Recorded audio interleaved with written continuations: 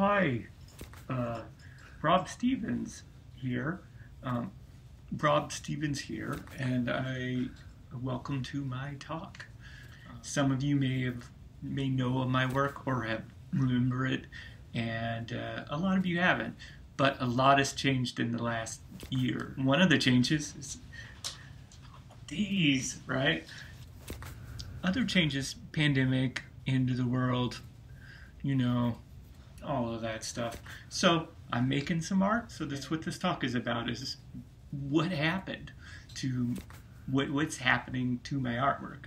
This is my first YouTube movie, so be patient. But it, I, you know, I'll try not to Ken Burns it up too much. I will be able to tie this into some of my past work, explain what's different, and what kind of cluster of themes I'm going for. So let's start. Okay, so look, I left Des Moines in 2018 um, in December, so right before the new year. Um, for health reasons, uh, my MS, uh, multiple sclerosis, had progressed really fast. You know, I went from a cane to a walker and now wheelchair. You know, my legs just seem to be too long for me. I started making some uh, computer work because it was within my ability to do um, physically. I, I made these people who were designated sick, people who were alone, people who sort of felt like they were contagious, that people avoided. The feeling you get being isolated, you, you feel sort of marked, that people treat you differently uh, these images are about how cloistered 2019 felt. I was feeling very alone and, you know, sorry for myself mostly. So, the way I depicted the germs, I, I like the idea of them looking like melted candy or flowers or appealing in some way, sort of like jewels. Um, so and that's what I so I, in some of these paintings I used like maraschino cherries um, as the germs or like candy or floral patterns or spaghettios which is super gross. And this idea of, of germs being pretty it comes up later in the work. I've used it in past work so I've used that sort of thing with my love letters where the flowers are intending to look like bullet holes or thoughts of love. I started doing these drawings of if I have ghosts for hands. A lot of it is about sort of the solid pencil not being able to grasp it or the pencil being ghostly so I can't grasp it and the frustration behind it. It's a lot like uh, the Greek myths of Narcissus or Echo, where well, Narcissus falls in love with an image, but he can't touch that image because it's just the water, it's just a reflection. Same with the idea of having ghosts for hands, is you can't really move anything, right? In March, there was already talk about quarantine it was already happening in some of the elite coastal cities, I think. I had felt homebound and shut off um, for a month or two already. Started making images of my friends. Um, this is of Rachel Boozy, you know, all geared up for the pandemic. It felt really perverse. Uh, the more that people were shel- sheltering in place, and the more social my world became, and less closed off. I don't think it's that unusual that other people are coming to grips with their situation and redefining themselves in this age of pandemic, civil unrest, social collapse, fascism, hell, even murder hornets. Um, so, this new work that I was making is like a, a fever dream where my tenuous connections to the world, a sort of masticate together in a nightmare slurry You know, so pieces of news, propaganda, theory, pop culture, horror movies, art history, medical jargon, um, they all sort of blur together.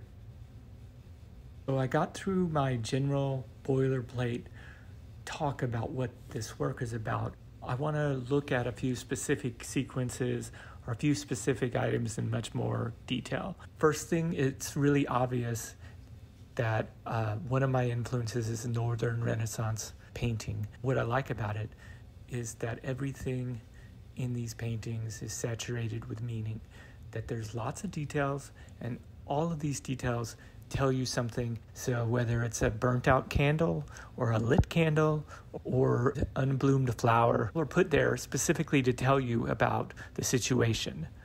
The Arnolfini wedding by Van Eyck is a good example. In this painting, each object represents something that one of the couple brings to the relationship. The oranges are the wealth that is brought in from the outside. A distance, hard to get fruit. The dog represents loyalty, fidelity, sexual appetite. On the Merode altarpiece, there's a picture of Joseph making a mousetrap, and the nails can be read as foreshadowing the crucifixion. So when I do a painting uh, with someone holding, let's say, a, a pumpkin latte, um, you know, it, I put it there because I, I am judging that character.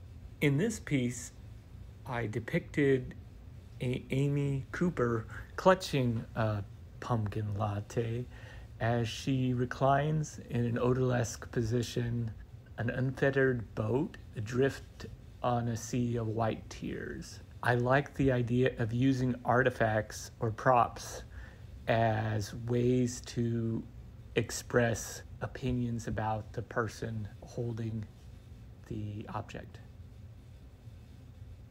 That we approach every situation reading symbols into objects we're always approaching things through the lens of class or race or gender or sexual orientation or disability status.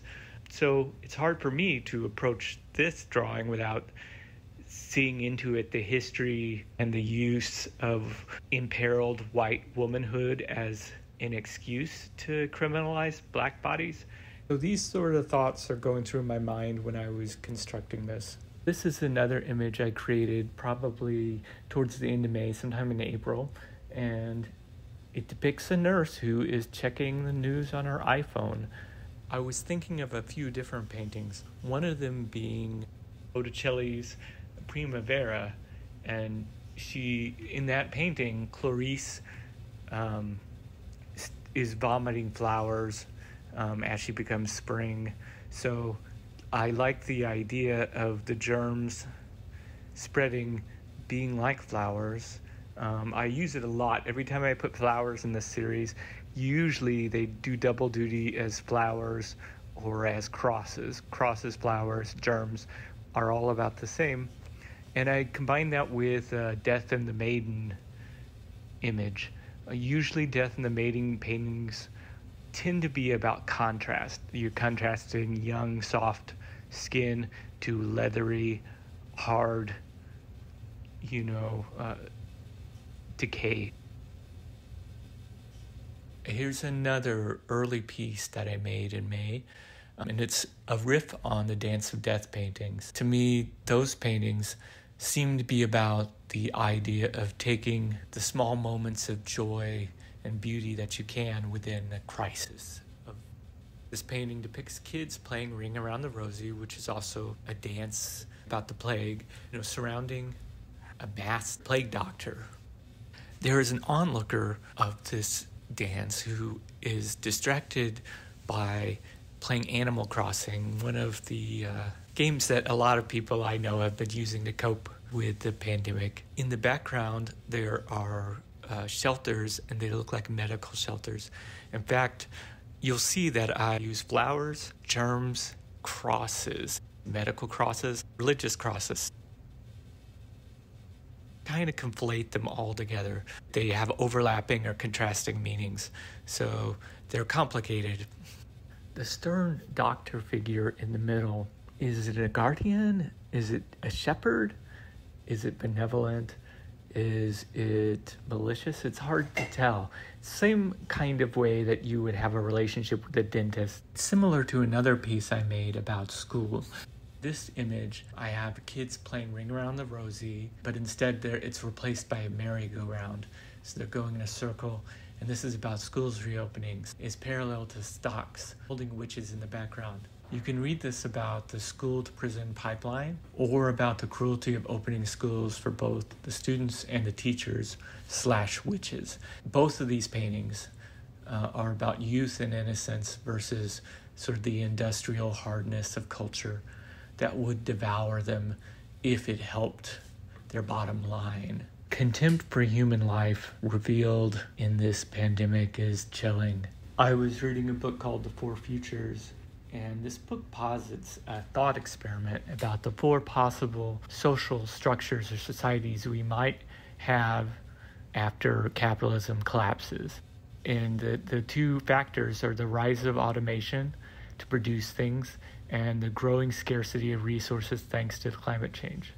The worst possible future talked about in this book has both a very high scarcity and a very high hierarchy that there are very few people who have power and control over those limited resources. In the past, concessions were made to workers because they were needed to produce. They were tolerated as a necessary expense. They're just surplus bodies that are draining resources. Public health issues are in conflict with the private interest, and class interest always wins. The leaders will literally do anything to save themselves but give up their power.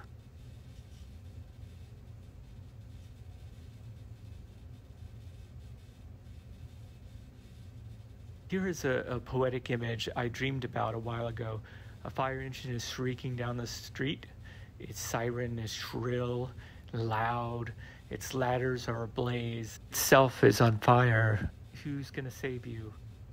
So, who profits from all of this? I've been making a set of paintings based on the Ship of Fool paintings about rafts that are drifting down rivers of blood. You know, this is about leaders who give stimulus packet to essential items like the Carnival cruise lines. Here's a picture of Marie Antoinette making a cake offering.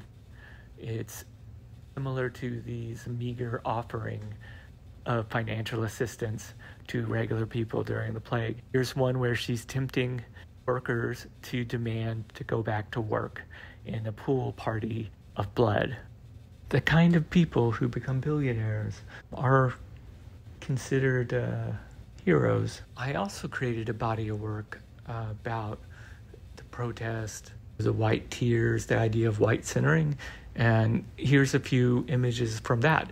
Is the comparison of Purell to holy water.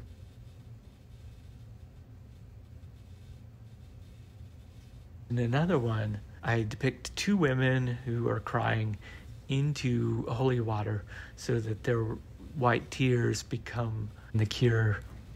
The women are from two politically different stripes. One is wearing a MAGA hat, the other is wearing uh, a women's march hat, but they both cry the same.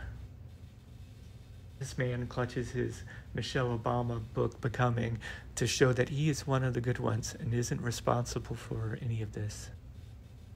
I had to wrap it up real fast because 15 minutes goes fast. I still have other things I want to talk about, so I'll probably make another movie. And um, so you like and subscribe. Also, you can find out more of my images uh, at my blog, also listed below. Thank you so much. It's been helpful to me and hopefully you got something out of it, you know, that sort of thing.